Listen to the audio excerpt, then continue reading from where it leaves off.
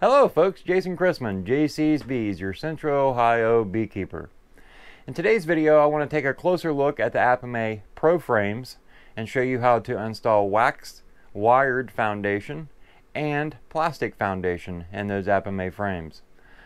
I also want to take a closer look at using a wooden box with the Apimaye um, plastic boxes. Had a lot of questions last week about how well a wooden box would work with the Ergo Plus kit. So we're going to take a closer look at that.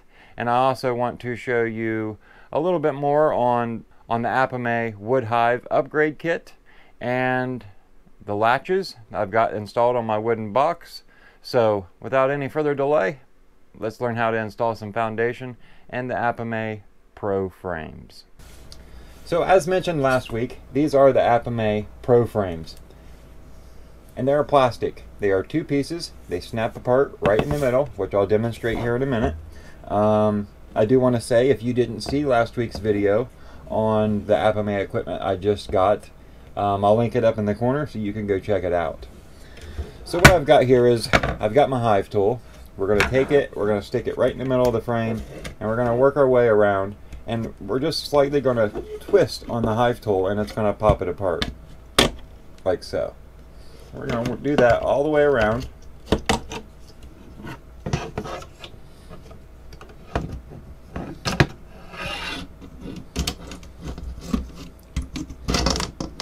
until we get it completely apart.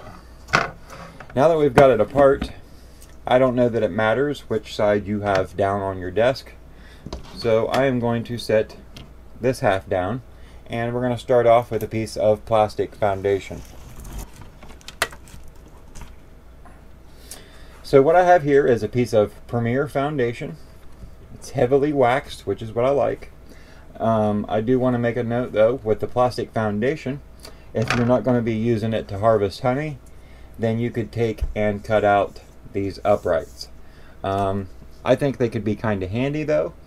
Um, you get plastic foundation and a deep frame and you let the bees fill that full of nectar so that you can harvest this frame of honey and this here these ribs in the middle take any concern of the plastic frame or the plastic foundation completely blowing out of the frame because of the weight of the honey so I see them as kind of handy and for no more cells than what they cover I think I'm going to leave them in there so we're going to lay our frame down.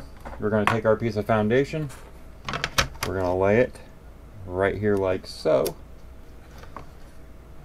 Give you a better look how it's sitting in there.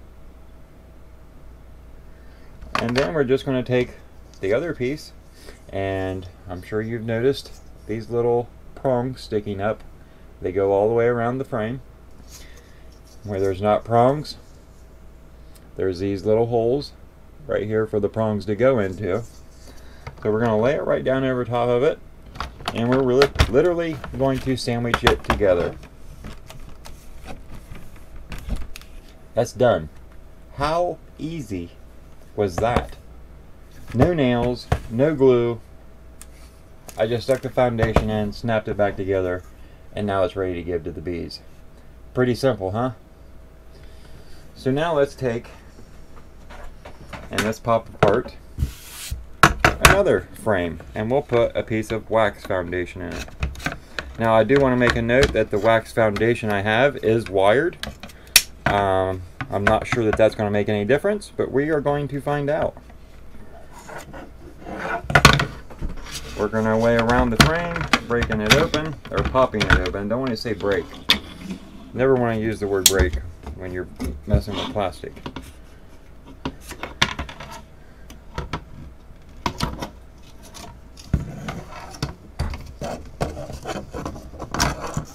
So there we go, it's separated. So we'll put this part down on my desk, set this piece off to the side.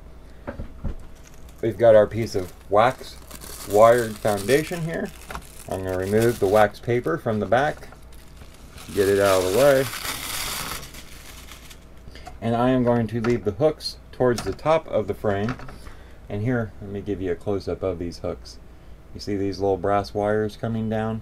They actually run through the foundation to give it a little strength and then they got these hooks that go up in the top bar. So I'm going to put the hooks down. I'm going to try and give you a shot here of what that looks like with the, the wires running down. And then I'm going to take the top piece, slide it over just a little bit more, going to snap it back together.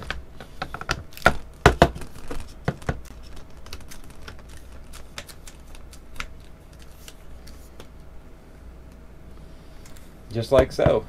Done. So now I've got a piece of wax wired foundation and an Apimaye Pro frame and I've got a piece of plastic foundation from Premier and a plastic Apimaye Pro frame.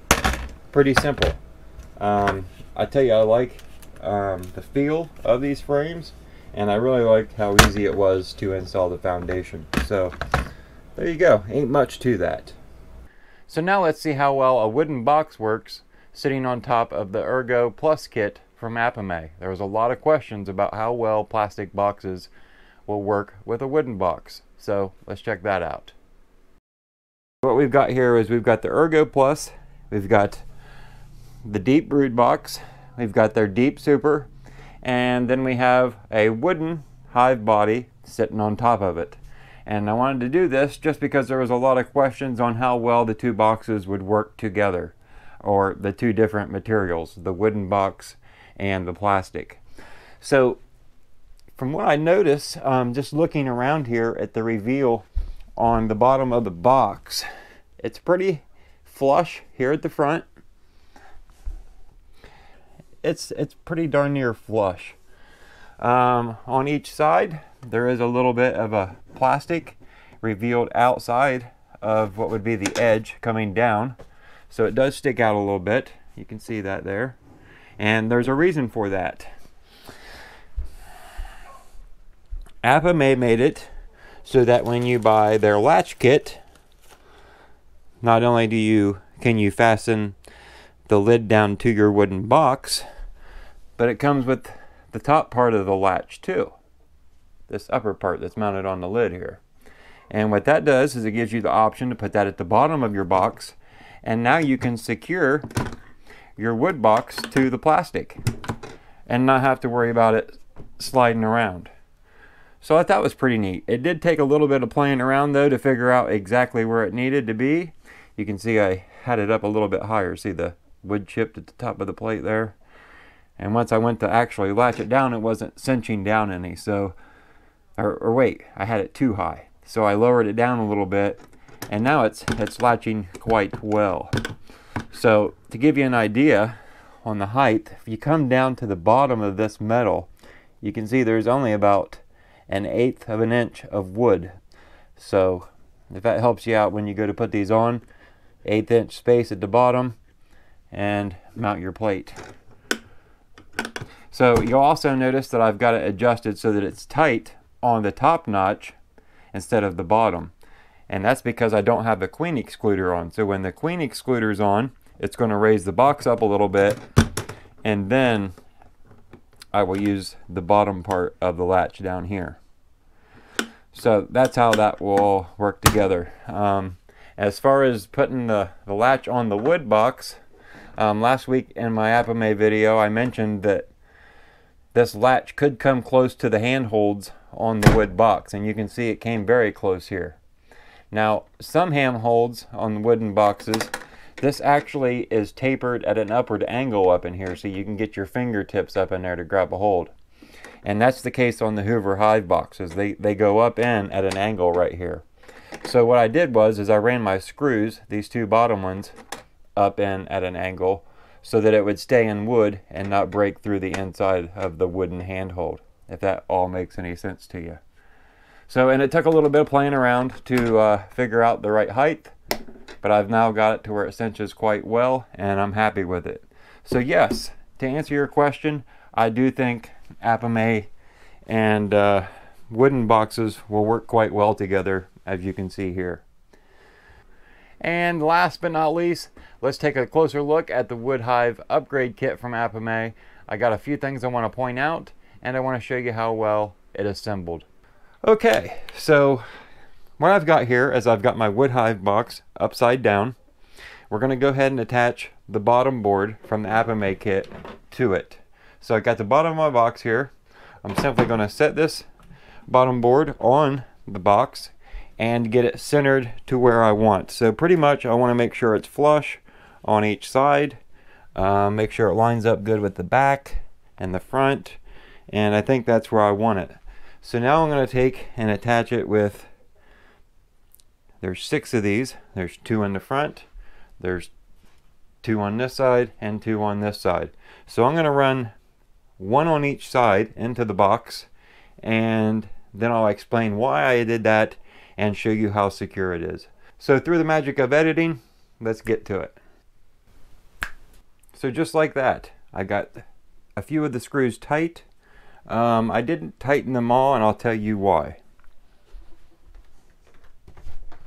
The reason for it is, being Phillips head and having lots of experience with decking and Phillips screws, Phillips screws don't do a good job of going in and coming out repeatedly.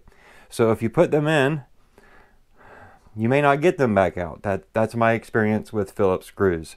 Um, personally, I would rather see a star or a torque head on the screw than a Phillips. So that's the reason I did not drive all of them in all the way. But I'm not going to say that it's not secure because it does feel very well attached to the box. So use caution if you do put in all of these screws. And like I said, I have had them all in once and this one here and this one here gave me a heck of a time. I didn't think I was going to get this one back out. I thought I was going to strip the head. You can see it didn't do any damage to the head, but repeated in and out, in and out on a Phillips head screw just isn't good. So keep that in mind. Now we've got a couple more screws to tighten one being right here and the other being right there. So now through the magic of editing, the screws are tight and the box is now ready to flip over. Okay, so we can see we've got that screw in. Those are tight. The only one I still need to stick in is one here in the middle. And that will help pull this back to the hive body. You can see how it pulls out a little bit. By putting that screw in there, it's going to hold it back snug. I've got my lock for my landing board. It's officially mounted and in the right spot so I can lock it. The beads would now be trapped in. I could close these, close this, and now it's tamper proof. Well, hard to do with one hand. There we go. So now that's latched and I've got my handholds on my wooden box for my top cover those are working out quite well. It did take a little bit of playing around to figure out where they go, but they're working quite well. And you can see this bottom latch doesn't interfere with anything. Um, so it's all right to have that there. And then if I want to resort to stacking this box on top of this later, it's there and ready to do so. Um, just keep in mind those screws that run up through here um, in and out very many times and you're going to have problems, I think. So that's what it looks like, all set up, folks. So I hope this video has been informative to you and gave you a little bit more information about Apimaye. Um, if you have any questions or comments about anything I showed today, please feel free to leave them down in the comments section. And if you enjoyed the video, slam that thumbs up button and don't forget to subscribe. And if you do subscribe, click on that little bell so you can be notified when I release new videos. Next week we'll be taking a closer look at my experiment on humidity inside the hive. You remember a few weeks back I installed some burlap on some of the colonies and then I put mountain camp on the other colonies. I want to go back and we're going to use the broodminder sensors and see if the humidity's lowered any and what's contribute to that. Maybe it's the burlap, maybe it's the mountain camp. So we'll take a closer look at that and see what we can learn from that. So if you're interested in seeing that experiment, make sure you tune in next week. Thanks for watching and have a great week, folks. We got Miss Ladybug out here. Hers liking the cold. Her likes it. Her likes it. Yeah, her does. Her gets all wacky. Her gets all wacky. Look at her go, folks. Look at her go. Oh, ladybug. Oh, oh, oh ladybug. Oh, you're a silly girl. Oh, oh, oh the waybug. It's, the people love seeing ladybug. Oh, you silly girl. You got no clothes on today, girl. You're naked. She's a naked girl.